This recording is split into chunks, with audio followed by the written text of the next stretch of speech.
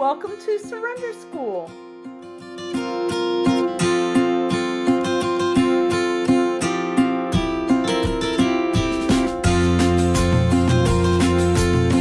What we are covering are steps 10 and 11.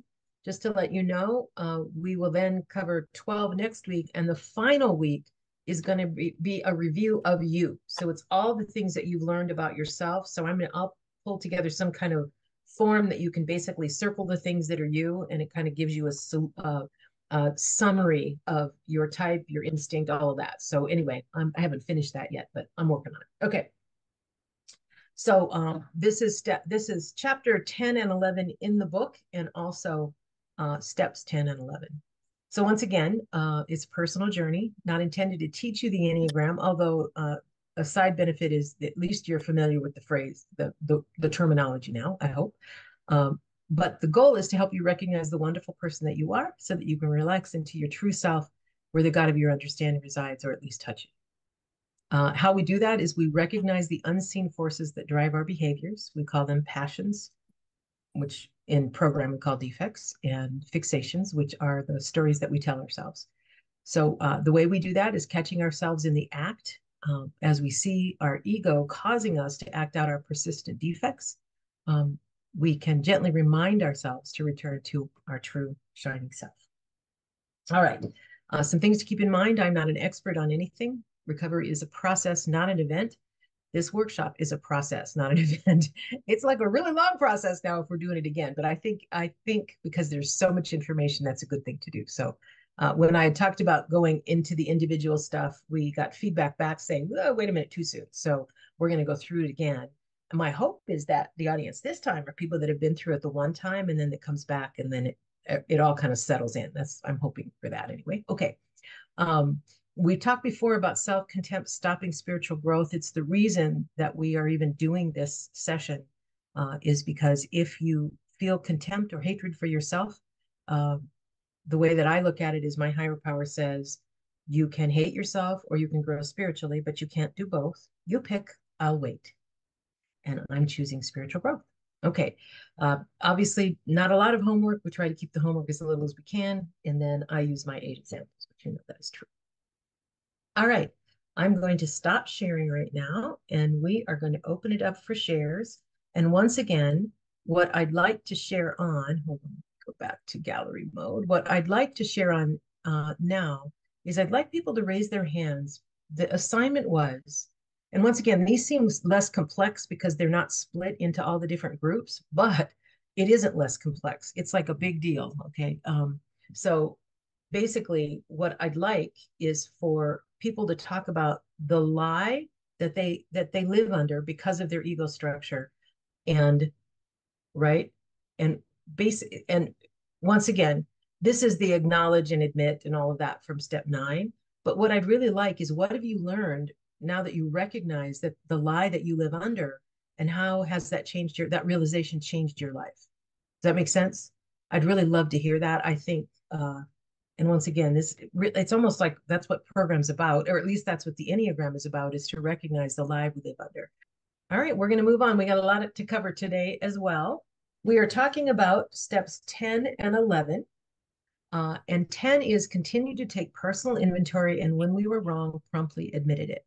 So now what's happened when you get to step 10, you have already worked through four through nine, right? So you've basically done an inventory, you shared your inventory, you basically were ready to have God remove your defenses, that ego structure, like God, yeah, I want that removed. You're ready to uh, basically, you're asking Him to remove all the shortcomings, all the areas in your life that you've fallen short you basically took your list and you got with a sponsor or somebody and said, Do I know owe an amends here? And then you paid your amends. So now your side of the street is clean. Your life is clean. It is clear. So now you're going to continue to take personal inventory. And when we were wrong, promptly admitted it. And then step 11 is sought through prayer and meditation to improve our conscious contact with God as we understood Him, praying only for His will and the power to carry that out. So that's 10 and 11. So, what I want to talk about right now is what does that look like? So 10 is actually, and you'll see at the bottom of the screen, that catch ourselves in the act. That is really what 10 is. And some people uh, kind of confuse 10 and 11 a bit. In the big book, 10 is simply, I say something in my case, I say something that is rude and cautious, unfair, whatever it is, right? And then I catch myself in the act and I immediately say, I'm sorry, that was selfish. I shouldn't have said that. Immediately, promptly. We promptly, we notice it. And once again, if you if you don't catch yourself in the act, you can't do it promptly. You can't turn right around and apologize. But if you catch yourself in the act, what is expected to live clean, I believe step 10 is live clean. What is expected is that you basically catch yourself and go, oh, okay, didn't mean to do that. Let me apologize for that. Let me change the way I'm going to do it. So, the way that I look at that, this is how we grow, by the way. We grow through what we go through.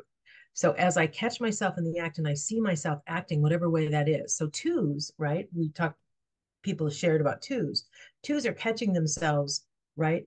With this concern for others that is actually a concern for self, right? Which is what all of us do this in some form or other, right? The two catches themselves that they're giving love with that hook, that then you will love me. They catch themselves in the act of that doesn't mean you always owe amends for it, but the catching yourself in the act is a big thing. That that is like the big thing is to see that. And then basically, if you're wrong, you promptly admit it to yourself and to that person if that makes sense that you need to do that. Okay, so that is actually step 10. Step 11 is where I have a colander here because I think what happens that uh, end of the day that some people call step 10, looking back on the day, that's actually step 11. Step 10 is just promptly admitted it. Step 11, as part of that seeking, right, through prayer and meditation, part of that seeking is I run my day through a colander at the end of the day. And anything that's sitting in the colander, right, I'm asking my higher power, did I miss anything? That because I don't always catch myself in the act. So when it's over, did I miss anything here? Is there anything else that I own amends for? Anything else that I did wrong? Bill is very cautious to say for us not to basically slip into this. I hate myself. I hate myself. That that morose, you know, uh, hatred of self or self because that's not what this is about. What it really is about is to to wash the day through and say, is there anything I know amends for? Make a note to myself, and I'll make an amends tomorrow because we have to live clean that uh, it, it, that's the only way for us to live in the in the promises of step 9 and 10 and all the rest right is if we do that at the end of that day so i i picture it like a colander that basically anything that's still sitting in there means something i haven't dealt with i need to deal with it um, and early on in program oh my gosh the colander was filled with stuff and now not so much because i really do take t- step 10 seriously and i really do make sure that i uh, if I notice it, I don't always notice it though, right? I don't always notice it. Okay. So, uh, why might step 10 and 11 be difficult for my type? So, for the ones, they don't necessarily, they, the ones don't recognize that daily imperfect is better than waiting for perfect.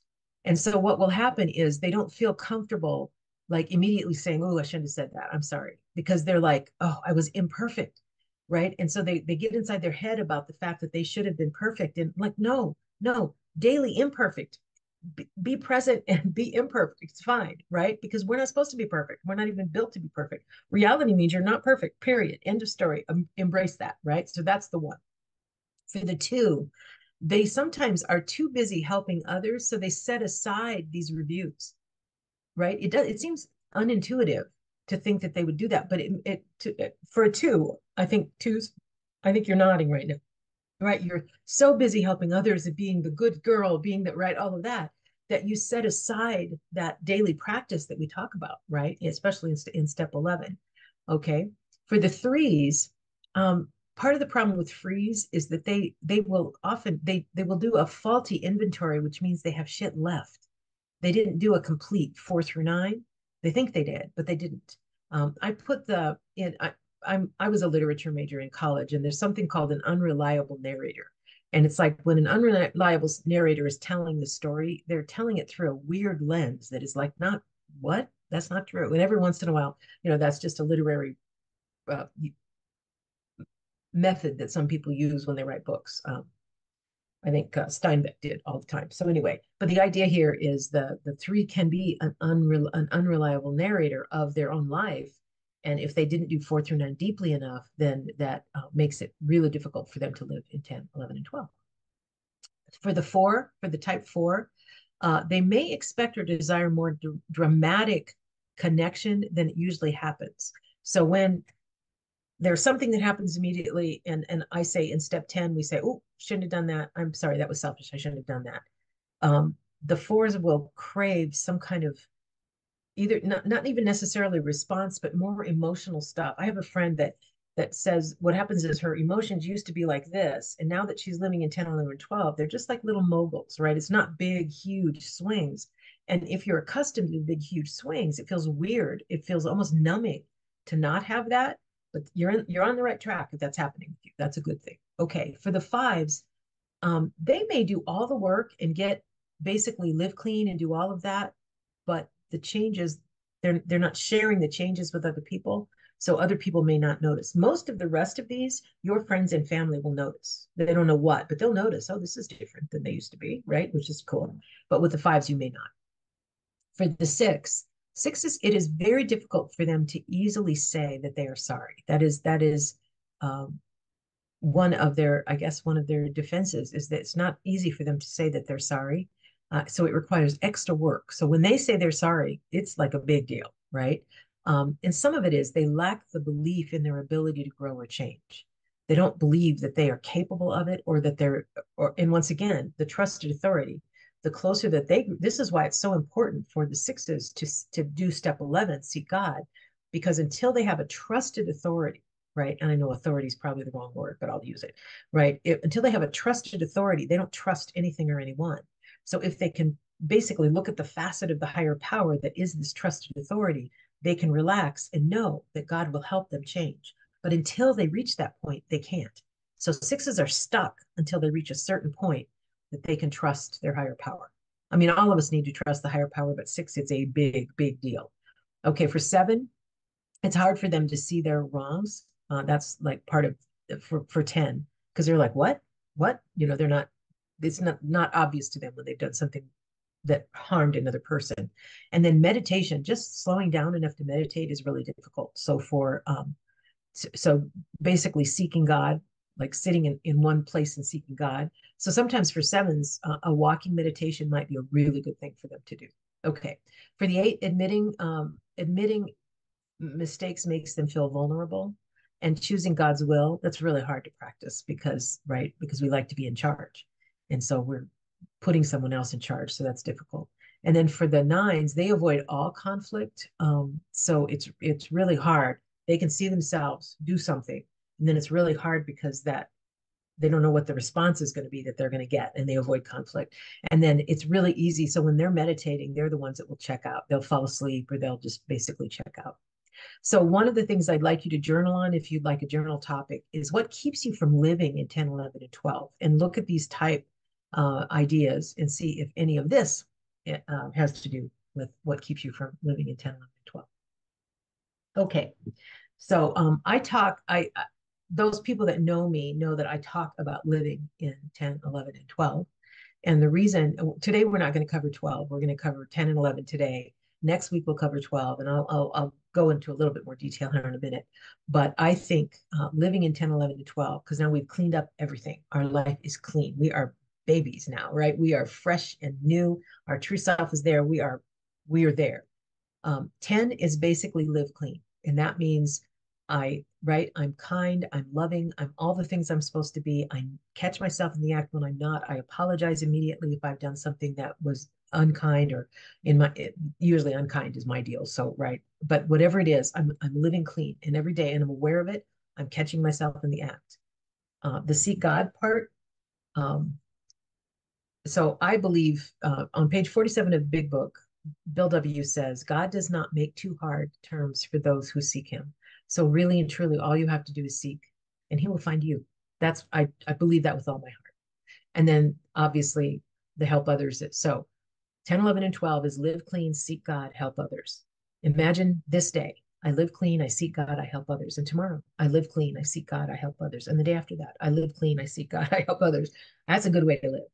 I have free capitalized because this gives you freedom and that makes you happy and joyous. Happy is momentary, joyous is a feeling and it's good and it's lovely, it's wonderful, but those don't stay. Freedom stays. So when you live like this, you live free and that makes you happy and joyous. At least it does in my case. Okay. some helpful de definitions. Um, so this next section, we are talking about this thing because it's in my way. Hold on a second. Let me move that. Okay. So we're talking about the the wings today. That was in chapter 10, and then we're talking about balancing across the centers. That was in 11. So the strong wing, you are probably practicing the traits of the strong wing right now, right? So I I believe, I think uh, that I am an eight with a seven wing. I think actually when I study this, I'm like, hey, maybe I'm a nine wing anyway. But okay, so you may already be practicing the traits of the strong wing.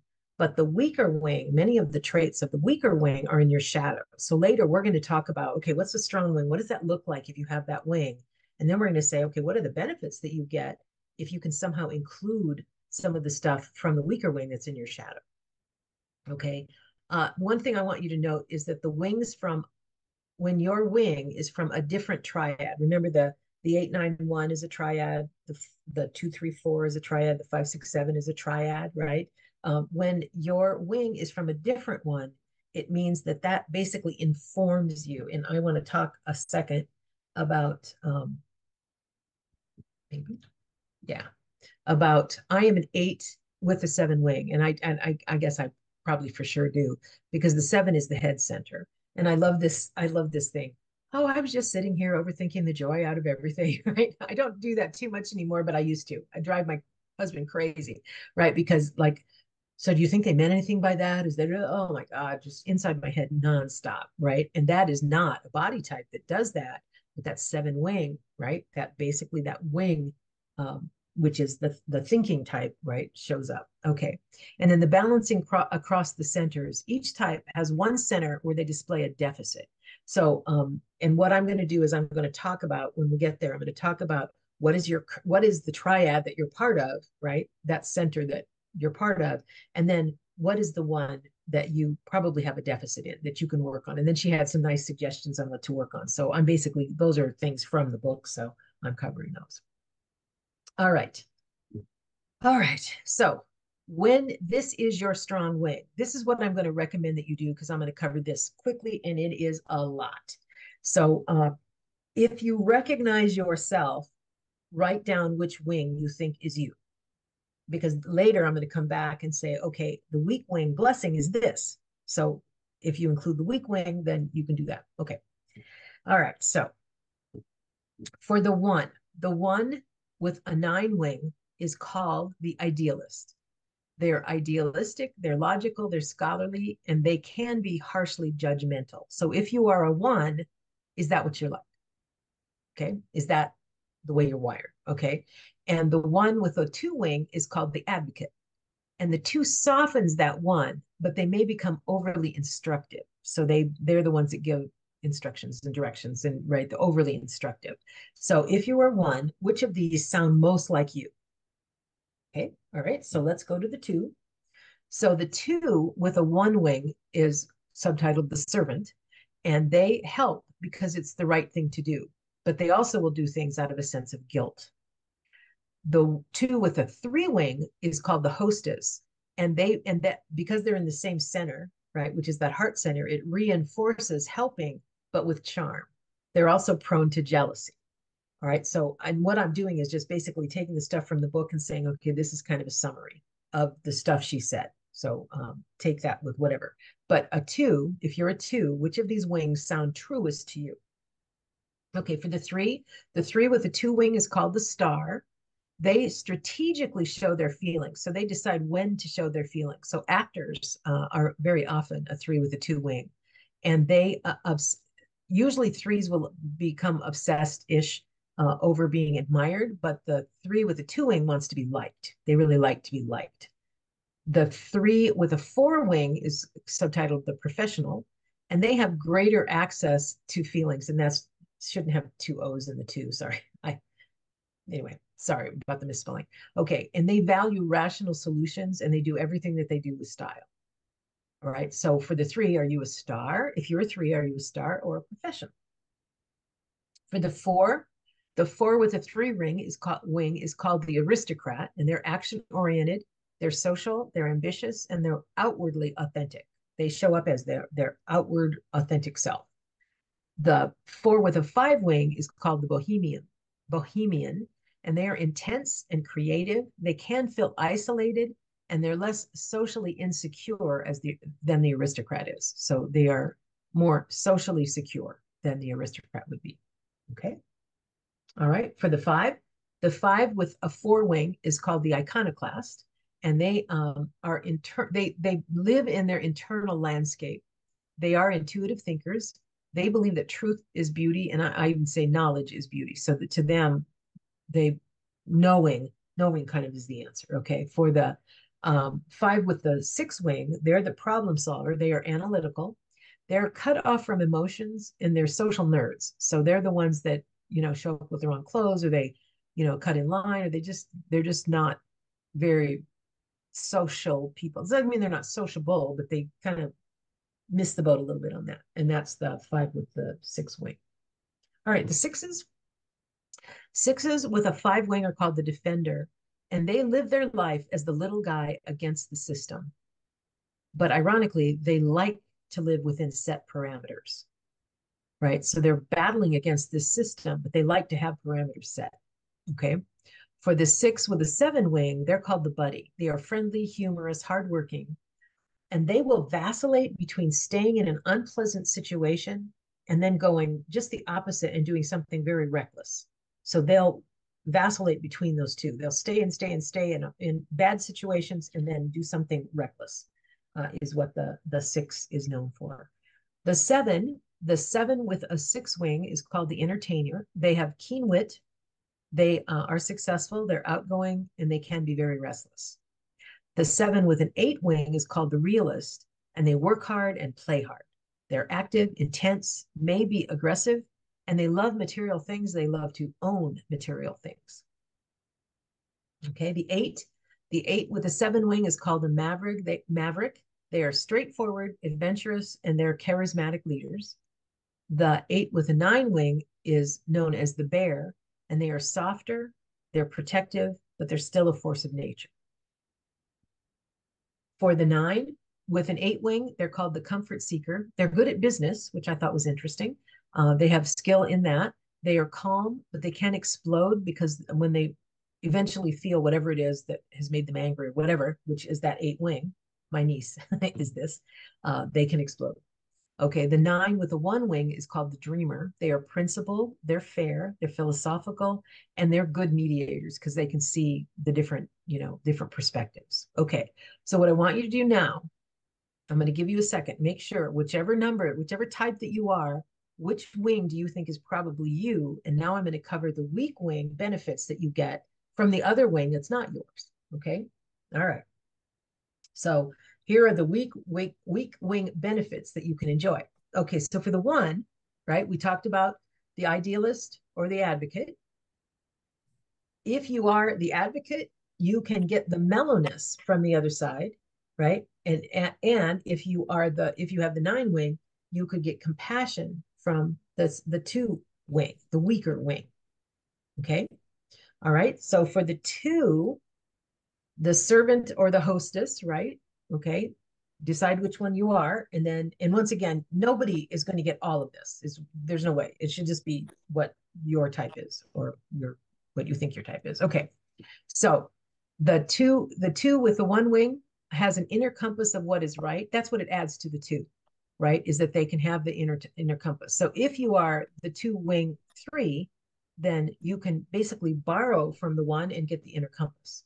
And for the three uh, if you are the one, right? The benefit of the three of the three wing, the hidden three wing, is that you can unhide desires that you didn't even know that you had. And I want to talk for a second about that because all of this basically says these are in your shadow. If if if this is your weaker wing, that is probably in your shadow and you don't even know that's available to you. So what this is about is getting it so that you say, "Oh, this is my strong wing." And then the weak wing is what I'm is is basically, oh, I can get benefit from that. Somebody it needs to be muted. I don't know who. I'm getting feedback from somebody. Okay. Um, all right, for the three, for the three, if you have the two wing, uh, basically you can get authenticity from the weaker one. And if you have the four wing, you can feel your feelings more strongly um, it, if if the if if you are a three with a four wing, then you can borrow feeling your feelings from the weaker wing. All right. For the four, self-esteem is the hidden benefit of the of the three wing when it's weaker. And emotional intelligence is when your five wing is weaker. Okay. For five, if your four wing is weaker, then basically you can bring in less heaviness to the to your life and to the world yourself, right? And if you're uh, if you you are the six wing, then you can bring intuition from your weaker four wing. All right, for the six, uh, if your uh, your strong wing is the seven, then from your weaker wing, you can bring no novel approaches, just kind of an interesting perspective and different novel approaches to things. If your uh, strong wing is the five, then you can add the seven piece, right, which is hidden to you, uh, to to play and be spontaneous, right? You can add that. That's a benefit that you could get for that weaker wing. And once again, this might feel a little foreign because this is hidden from you, right? That weaker wing is hidden from you, but still available. We talked earlier about what are the wings and you can bring this stuff in, but your weaker wing is hidden. Okay. I know I keep saying that, but this seems like a lot of information. Okay. If you're a seven and you have a six wing, right? Then your weaker wing is the eight wing.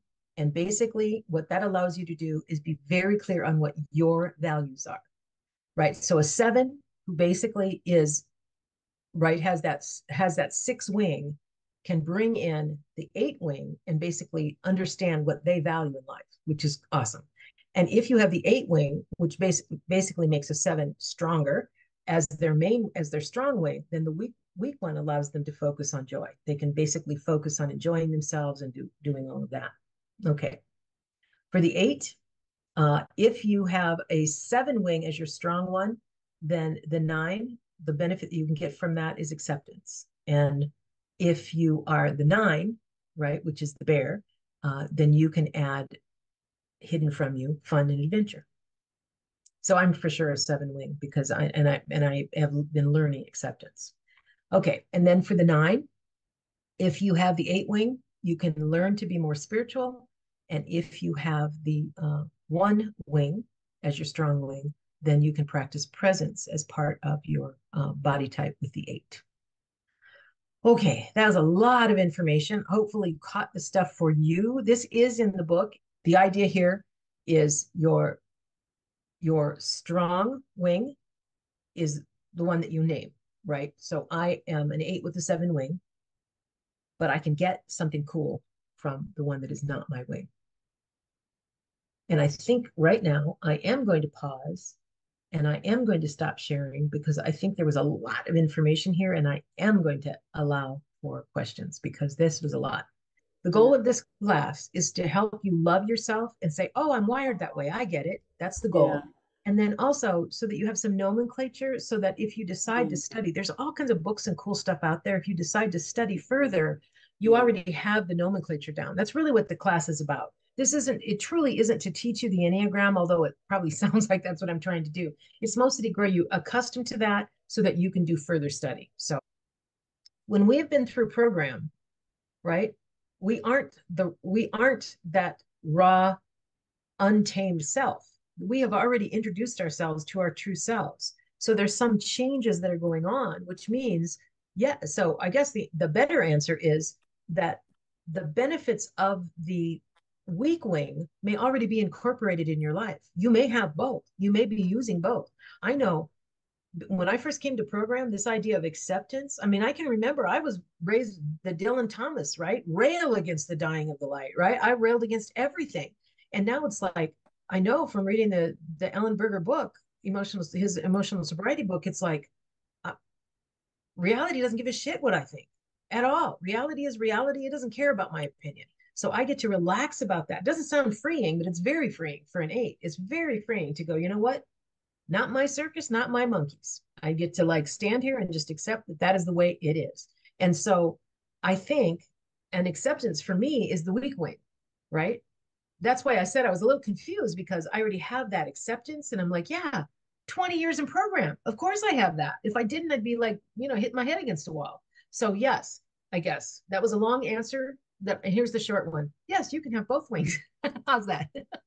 we don't know it when we come in. At least in OA, our goal is to, you know, lose weight. The goal in AA is to stop drinking or be nicer or whatever it is, right? We all have this weird view of what it's going to be, and then when as we're working the steps, God is changing us. That is what happens, right? I'm I'm doing the work over here, and God is doing this work on me, and it's an awesome thing. Thank you. All right, we are ready to move on to the next section, and it's uh, about as heavy as this last one was. So, buckle your seatbelts, everybody. Okay, so we just finished that, and now I'm going to go into the next screen. All right. So we all have we all have all three centers a body center a head center and a heart center if you think about it right where we can we can feel like sick to our stomachs if something happened that's the body center you might have a gut instinct that's the body center you have feelings you have feelings right that's the heart center you're thinking about stuff inside your head that's the head center and we all have all of that we just live in one of them right now we use all three centers because we all have feelings, we all have thoughts, and we all live in our body, right? So we have all three. But what she says in chapter 11 is there is one area for each of us that there is a deficit in in our type. There's a deficit, and she gives suggestions on how you might want to practice so that you can enhance the area that you have a deficit, the cent, the body, the center that you have a deficit. So what I'm going to do is all right. So first of all, you see the little guy, the little beaver. And I want to, and I said, when I saw it, I was like, ah, welcome back, old friend. We haven't seen you for a while. So anyway, the little beaver is type one. Everybody knows that. So I'm going to use this as an example. All the way to the right is the triad that is your, um, the, the triad, that center that you basically live in, right? The one and down at the bottom, the eight and nine are the body center. That's that body triad, right? the two, three, and four are the heart. The four, I mean, yeah, four, the five, six, and seven are the head. So as we're going through this, remember to look off to the right to say, oh, okay, yeah, yeah, that's the triad that I live in. That's the triad I'm in. And then where the question mark is, is the is the center that triad or the center, heart, head, body, that you have a problem with, and then the work that's needed. So these are her suggestions, and I think they're pretty good. All right, if you remember, the, the, the type one is the merciful teacher. They live in, they are in the body triad. The area that they have difficulty is in the head, right? In the thinking triad. All right, so her suggestion is to meditate on serenity and become aware of suppressed anger. So the ones will suppress their anger and take it internally, and it turns into self hatred or it turns into like all kinds of other bad things. You don't want to do that. You want to be aware of your suppressed anger so you can do something with it. And that's a thinking thing, right? Okay. The type two is the intuitive healer. And that's my little dog Mayhem. They live in the heart center. The twos live in the heart center. Okay. And they also, their deficit is in the head center.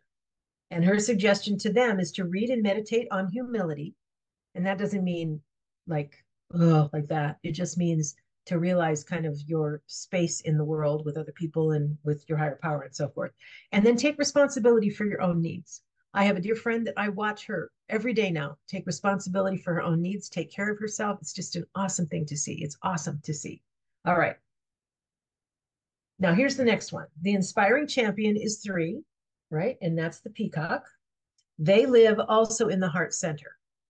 And what I want to point out is the center one, right? So it's one, uh, so it's eight, nine, one, right? The center one of the centers, the middle one of the centers has problems in their own triad. So you notice that the three is the center because it's two, three, four, right? The heart, that's where they have their problems and I, or where they have the deficit. And so the idea for the three is to say, open your heart to explore covered inferiority, a sense of inferiority, and admit your errors. So this is where, right, right within the heart center is where the the three has their problems in the center that they live in. I thought that was fascinating. Okay. For the four, the creative alchemist, the four, and I love the the unicorn, obviously, welcome back. All right. They also live in the heart center and they have problems with the body. Her suggestion to them is to feel what a strong container your body is and stay grounded in that. I thought that was fascinating because sometimes what happens is the, the fours are ungrounded, uh, usually with emotion, right? Okay. For the five, once again, they're the kind wizard. That's the little bear. They are in the head, the thinking center. And their problem is also with the body. And the idea here is to get grounded in your body instead of lost in obsessive thoughts, those obsessive thoughts that basically take you out of the present and into the future, right? All right. The six is the courageous pathfinder. And this is the little bunny, if you remember the six. They are also head types, but remember they're the center of, they're the middle of the head types. So their problem is in the thinking. And they her her recommendation for them is to meditate on faith and courage and to see when you are projecting fear because once again they will project it into the future i have a friend that says and i live in the wreckage of my future right so that's what six do they will project that fear of the future or fear of almost anything okay and that's basically in their head that they have all this stuff going on and they are part of that head triad thinking triad the seven is also part of the thinking triad where they have their problem is in the heart area. And the idea here is to face and release the sadness to truly open your life. Sevens will tell you they are not sad. And what she is saying is you can face the sadness and then release that sadness, and then you can actually live in joy, which I think is just awesome because they are the joyful visionary. I love that. I think that's wonderful. For the eighth, the lion-hearted protector, once again, they are part of the body and they're the first of the body, right? 891. They're the first of the body, and their uh, def- deficit area is the heart. I absolutely live this, and that is open the heart to softer, more vulnerable interactions. People who have known me for a long time, um, Joy is one of those, can see the softening of me, right? I'm, i probably don't seem soft to you guys, but anyway, I, I used to not be at all. It was like, Ugh, right? So um, anyway, I'm um, I, I I really feel this, and I can feel that happening and it's a wonderful, wonderful thing. All right. And then for the, oops, sorry. And then for the nine, the gentle mystic. Welcome back, little sloth. Okay. Their area is, once again, they're in the middle of that. They're the middle one. So they're in the body triad and their problem is the body, right? And their their problem is that staying present in the body to trust their instincts more and to stay present because they will check out. That's what they that's the way they live their life is they will check out, right? And all of these we have we have learned to some degree, but I really like kind of she's pinpointing. Try this, see if you can do that. Okay. One thing I want to talk about that I really like the idea of this is that energy flows where our attention goes. And this is a fact of life. This is the way that life works. Reality works this way. Wherever we are putting our attention is where the energy flows. I choose, and I'm using this for me, I choose to be honest about my thoughts and feelings, even if they're uncomfortable. I spend time reading. I journal a lot. I am in nature whenever I can be. Tougher to do in Vegas than it is other places. I'm from the Midwest, which is nature was all around me then. But anyway, I do that. I have spiritual talk with my friends. That is what I talk about. I don't talk about shit. If I think it's stupid shit, I don't talk about it. Right? I talk about spiritual things, and I spend time with my dogs. What I don't do is worry. What I don't do is basically worry at all about others' opi- opinions of me because it's none of my business. I don't harbor resentments. I try not to feel fear. And if I do, I journal about it. And just kind of any kind of resisting of reality. And I'm being tested right now, which is, I mean, not, I'm not tested like my sister is being tested. She's seriously being tested, but, um, but there's still, right, all this emotional stuff. And I want to flee and I'm not fleeing. And, right. So I'm not resisting reality because reality is reality, right? And I can live in the world and be here and be present or not. Okay. I do appreciate Joy calls me every day to make sure I'm doing okay, which I just think is a lovely thing. Okay. And once again, living in life in step 10, 11, and 12 is live clean, seek God, help others. And I want to tell you how to do that. To live clean, you make a mistake, you see it, you apologize, and you do better next time. Nothing more than that. No guilt, no shame, no any of that. Make a mistake, which all of us do because we're human. See it, right? That's catch ourselves in the act. Go, oh, sorry, didn't mean to do that. Do better next time. So earlier, the uh, and I'm sorry, I don't remember who was that Sharon, I think, was talking about. Yeah, I, I apologize all the time, even for things that aren't mine. There's probably some guilt or shame tied in there somewhere, right? So, and if that's the case, no, no, no, no. Make a mistake, which we all do, see it. That's catch ourselves in the act immediately. This is step 10. Apologize and do better next time. That's it. That's all you do for 10. That's how you live clean, right? No guilt, no shame, no any of that. Deal with it right then if you can. Okay. The seek God, consistent daily spiritual practice, whatever that is, or hourly spiritual, seek God, right? He doesn't make it hard for you to seek Him. Seek Him and He will find you, whatever your God of your understanding is. And then the final one, help others. Be a sponsor, work with others in some way, use your gifts. And next week, we are going to be talking about identifying your gifts and the assignment this week is going to is about identify what your gifts are the bottom of my email says the purpose of life is to discover your gift. The work of life is to develop it. And the meaning of life is to give your gift away. So all of us have a gift. If you don't believe you have a gift, then you have some work to do because you absolutely have a gift. You are a gift, right? So meditate or journal. Ask your higher power if you don't already know what is the what is the gift that you bring to the world. You you you uniquely, not even usually is it tied to type? Sure, because everything we do is tied to type. But you yourself, are a gift to the world. How can you express that into the world? All right, so what is left to do? Right? Keep calm. You're almost done. And this is for all the British people that we have in here. Keep calm and carry on. All right, so what's left to do? Next week, we're going to be talking about your gifts and also chapter 12, which is a little bit about more about, um, I think, um, anyway, there's other content there. Uh, but next week, the, fi- the, the final week, we're going to do a, review of you. So next week is step 12, chapter 12, so forth. And then the final week, which is two weeks from now, we're going to do a review of you. And I will have a document that you can print out and we're going to circle some things. And when it's all done, you'll kind of have a portrait of yourself, is what the goal is. Okay. So, oh my gosh, so late. Um, so don't forget office hours on Tuesday and Wednesday, and also Wednesday afternoon. Um, and Memorize your mantra, do the weekly challenge, read chapter 12 this way. Once again, only your type on the forward and back arrow. That's what it is. And then, um, all right, that is it. I'm going to stop sharing. Thanks for recovering with us.